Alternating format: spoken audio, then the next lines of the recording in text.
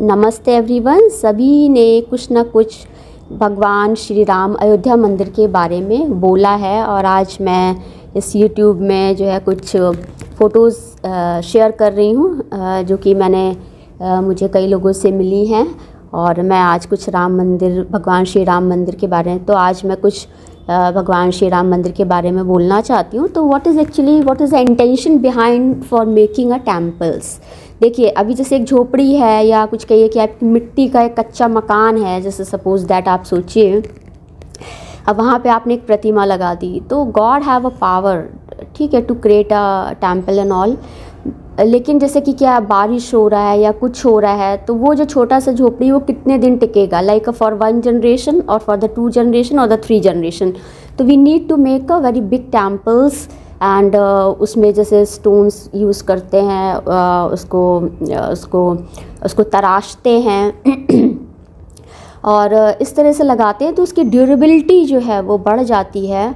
और it it is it exist for a long long time and for ठीक है I understand कि जैसे केदारनाथ में बाढ़ आई तो मंदिर अभी भी है तो इस तरह से। तो आप, अभी what is intention behind this क्योंकि आजकल के बच्चों को यही नहीं पता है कि भगवान श्री राम कौन थे। आजकल के बच्चों को ये नहीं पता है कि सरस्वती जी कौन है। इवन कि आप मंदिर में फ़ोटोज़ रख दीजिए, उनसे कहिए कौन से भगवान हैं, बताइए ज़रा इसमें। तो उनको ये नहीं पता होता ये कौन से भगवान है। मुझे भी अभी बहुत सारे भगवान नहीं पता हैं। अब जैसे कि कुछ ऐसी फ़ोटोज़ आ जाए भगवान की अलग अलग प्रकार की तो यू कांट आइडेंटिफाई कि which name is God God उस ईश्वर का क्या नाम है। तो आप नहीं आप बता सकते हो। तो आ, मैं आपको यही बताना चाहती हूँ कि कि बच्चों को पता ही नहीं है। बच्चों को आजकल क्या पता है? कंप्यूटर पता है लैपटॉप पता है गेम्स पता हैं। बच्चों को आजकल देखिए मेरे टाइम में क्या था? कंप्यूटर नहीं था। मेरे पास I don't have any computer knowledge and when I was doing M tech then I was started to emailing and then just मैंने बेसिक सीखा कि कैसे एम एस वर्ड क्या है पावर पॉइंट क्या है इस तरह से फिर मैं पीएचडी कर रही थी। ड्यूरिंग दैट पीएचडी मैंने थोड़ा थोड़ा टाइपिंग वाइपिंग करना शुरू किया और मैंने जब when I started to work तो मुझे धीमे धीमे सारी बातें आ गई। और उसी प्रकार से जो है एक, मुझे जैसे होता है ना कंप्यूटर में डिफरेंट लैंग्वेजेस होती हैं पाइथन है जैसे मैं पढ़ती रहती हूँ इधर उधर देखती रहती हूँ, सुनती रहती हूँ तो इस तरह से मुझे नॉलेज नहीं एक्चुअली कंप्यूटर के बारे में। तो कंप्यूटर वही होता है ना कि everything computer is very good like कि आप इस एक क्लिक करिए तो ऐसे हो रहा है, ये करिए, तुरंत इंस्टेंट जो है आपका सारी चीज़ें उसमें हो रही होती हैं। तो I don't have much knowledge on computer but मुझे लगता है कि बच्चों को आज केवल यही नॉलेज दी जा रही है कंप्यूटर आजकल मैंने देखा है कि जेई वगैरह में लोग जो है, कोई इलेक्ट्रॉनिक्स में जाना नहीं चाहता, ना कोई इलेक्ट्रिकल में जाना चाह रहा है, ना कोई मेडिकल में जाना चाह रहा है। Everybody wants to go in a computer soft and the hardware तो क्योंकि in big cities and everywhere is like a software industries and I T information technologies there तो हर हर व्यक्ति जो है वहीं जाना चाह रहा है। इवन कि जो क्वालिफाई नहीं कर पाते हैं उनको प्राइवेट कॉलेजेस में भेज दिया जाता है। तो वहाँ with the help of the money and the donation and all तो they are doing the courses and all तो एवरीबडी इज़ गोइंग देयर तो actually what is the impact of that and what is the future of that ये इस पर देखना पड़ेगा कि ये है क्या एक्चुअली तो ठीक है, अभी वो पुराना समय था, आज ये नया समय है तो नए अपडेट्स हैं। इस तरह से नई बातें चल रही हैं कि इस तरह से हमारे जीवन में आता तो मैंने एक बार आपको बताया था कि जैसे जैसे देवत्व बढ़ता है वैसे वैसे पापत्व भी बढ़ता जाता है। इस तरह से मैंने आपको बताया था। और लेकिन कभी कभी ये क्या होता है कि दोनों चीज़ें बराबर भी होती तो वी कैन कन्वर्ट द बुराई इन टू द अच्छाई एंड अच्छा इन टू द बुराई। तो इस तरह से भी होता है। तो आज हम राम मंदिर के बारे में बात करेंगे। तो ये बहुत अच्छा है कि भारत में वैसे भी ऑलरेडी भारत जो है, मंदिरों के लिए, पूजा के लिए, संस्कृति के लिए, सभी के लिए जाना चाहता है।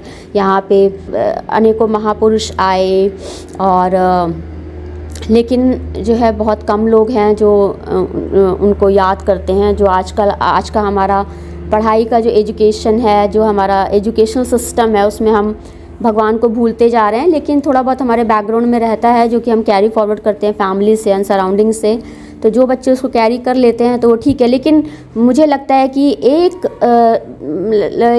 लाइक मेरे, मेरा इंटेंशन ये है कि I have to develop a child और द चिल्ड्रन लाइक दैट कि कुछ एक ऐसे बच्चे मुझे चाहिए, तैयार करने हैं मुझे कि जो इस दुनिया को बदल सकें। इस दुनिया को देखिए दुनिया को बचाना भी होता है दुनिया को को फिनिश या ख़त्म भी करना होता है या डिस्ट्रॉय भी करना होता है तो इस तरह से रहता है।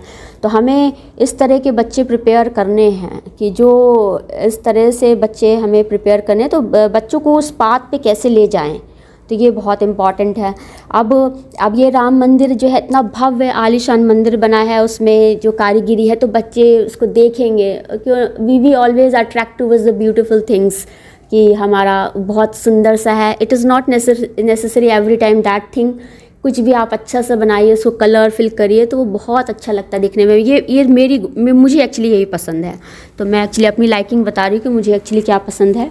तो मुझे बहुत अच्छा सा सब कुछ डेकोरेट रहता है। ये तो मुझे अच्छा लगता है देखने में। कोई भी सुंदर सी मूर्त है या कुछ है तो आ, मुझे अच्छा लगता है। तो इसी प्रकार से आप जाइए तो देखिए देखिए पिकॉक है।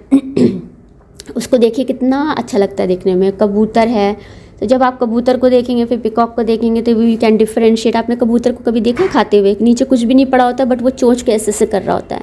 इसकी आँखें बिल्कुल दिखाई भी नहीं होती some someday I was thinking ये यहाँ पे क्यों नहीं खा रहा है? ये ऐसे से क्यों कर रहा है? क्योंकि उनका एक रिफ्लेक्स एक्शन है कि वो जब चूंगते हैं तो ऐसे से करते रहते हैं।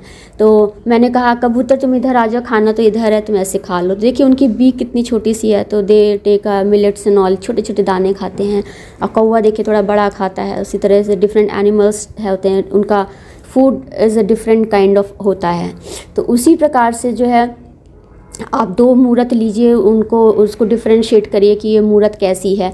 तो आज मंदिर का निर्माण हो रहा है, वहाँ पे लोग जाएँगे, आएँगे तो इससे तो रेवेन्यू तो जनरेट होता है डेवलप होता है, लोग आएँगे, जाएँगे, खाएँगे पिएँगे इस तरह देखिए कितना व्यवसाय जो बिज़नेस कितना फैल रहा है। लोगों की अर्निंग हो रही लोगों को जॉब मिल रही है, लेकिन साथ में हम वहाँ से भगवान से कनेक्ट हो रहे हैं, एक अननोन पावर से कनेक्ट हो रहे हैं, और जो भी वहाँ पे सीरियसली जा रहा है, या एज अ घूमने भी जा रहे हैं या कुछ भी जा रहे हैं बट कहीं ना कहीं माइंड में कुछ ना कुछ इंप्रेशंस तो रहते हैं। तो ये generation to generation it will be good for अब ये सोचिए मंदिर कितने सालों तक रहेगा सोचिए कितनी जनरेशन तक रहेगा। फिर उसमें यही होता है ना एक घर है पाँच साल है फिर कुछ दिन बाद हम वाइट वॉश कराते हैं। आजकल तो देखिए पेंट्स आ गए हैं तो ज़रूरत नहीं पड़ती है इतना। फिर उसके बाद जो है आ, लेकिन देखिए कि पे, पेंट जब ख़राब होता है तो बहुत ही ख़राब लगता है। और यही होता है ना एक बार चढ़ाना एक बार उतारना बहुत मुश्किल होता है। एक बार आपने अप्लाई किया, फिर रिमूव करना। तो what is easy to remove and the apply that matters तो इस तरह से है। तो आप एक अच्छा सा मंदिर बनाए इसका मेंटेनेंस रखिए। तो जनरेशन टू जनरेशन वो अच्छा रहेगा। आज हमारे बच्चों ने देखा, कल हमारे बच्चे के बच्चे देखेंगे, फिर उनके बच्चे देखेंगे। तो इस तरह से रहता है। तो ये कैरी फॉरवर्ड स्टडीज़ होती हैं। तो ये एवरी एस्पेक्ट कि आपको लगता है कि इस तरह से है। तो ये, अब देखिए अब देखिए पिकॉक की वॉइस सुनिए, आप किसी और की वॉइस सुनिए। तो इस तरह से है। आप एक तो different voice and different structures and the different features तो दिस इज़ ये इंपॉर्टेंट है। भगवान विष्णु देखिए, आज हम बात करेंगे जैसे भगवान ब्रह्मा जी एंड द भगवान विष्णु एंड भगवान शिव। तो देखिए, भगवान विष्णु आउट ऑफ़ देम भगवान विष्णु के अपीरेंस देखिए आप। उनके सिर पे मुकुट है। मुकुट के साथ ही देखिए एक चक्र भी है और जो है, उनके माला है और भगवान शंकर कैसे हैं? देखिए, वो कुछ पहने रहते हैं, छाल जैसा रहता है, हिमालय पर रहते हैं और उनके स्नेक्स हैं गले में, हाथ में, सब जगह इस तरह से है। ब्रह्मा जी देखिए, उनकी दाढ़ी दाढ़ी क्या बोलते हैं इंग्लिश में? जो है, इस तरह से है उन, उनका। तो इस तरह से है। तो अब देखिए, उनके कितने मुख हैं? तीन हैं, किसी किसी डीटी के फाइव भी होते हैं, पंचमुखी जैसे हनुमान जी हैं और भगवान विष्णु के हैं, ऐसी शंकर भगवान जी के त्रिशूल है तो सभी लोग जो है शस्त्र से युक्त तो होते हैं। तो आप बताइए, इसमें शंकर भगवान जी हैं, भगवान विष्णु हैं और ब्रह्मा जी, बताइए सब में सब, सबको सबसे ज़्यादा कौन अच्छा लग रहा है? तो ये देखना पड़ेगा कि किसको कौन से भगवान सबसे ज़्यादा पसंद हैं। तो ये इस तरह से, आप बताइए ब्रह्मा जी के बारे में कोई सोचता है क्या? तो ब्रह्मा जी तो ब्रह्मा जी क्या है कि देखिए, भगवान विष्णु, मेरे पास एक फ़ोटो, भगवान विष्णु के नावल से जो एक कॉर्ड निकलती है। तो नावल से एक कॉर्ड है, वहाँ से क्रिएशन है क्रिएशन है। तो देखिए, जब एक वुमेन है, एक बच्चे को पैदा करती है तो उसकी कॉर्ड से वो बच्चा कनेक्ट रहता है और जो उस वक्त वो खान पान होता है, उस बच्चे को मिल रहा होता है कॉर्ड के थ्रू तो it's energy as well the what mother is thinking as well as what mother is eating like जैसे कहते हैं ना कि आप जैसे जैसे सेकंड जैसे आपका दूसरे, बच्चे, आपने सुबह उठ के कैपिल खा लिया, दूध पी लिया, खाली पेट नहीं रहे, और तो इससे जो है बच्चों में कॉम्प्लेक्शन अच्छा रहता है, और आप विटामिन सी ले रहे हो, आप टमाटर खा रहे हो, इस तरह से तो इन सब बातों का बहुत अफेक्ट पड़ता है। और साथ में आप क्या सोच रहे हो? That is also very important अब, आप आप डार्क कॉम्प्लेक्शन की बात करते हैं तो वहाँ देर इज़ सम कुछ ब्लॉकेज है या कुछ है, या आपने खाना नहीं खाया, आपने पता लगा दो बजे तक आपने खाना ही नहीं खाया, आपने ब्रेकफास्ट ही नहीं लिया, और बच ड्यूरिंग द जब बच्चा डेवलप हो रहा होता है तो आपने उस खाना ही नहीं खाया, और उस तरह से बच्चे की स्वास्थ्य में बहुत फ़र्क पड़ता है तो बच्चे के स्वास्थ्य पे फ़र्क ना पड़े, इसलिए माँ को बहुत ही विशेष ध्यान रखना पड़ता है along with the father also taking care of all this thing to take care of both mother and the childrens It is responsibility of father must essential for both children and the mother.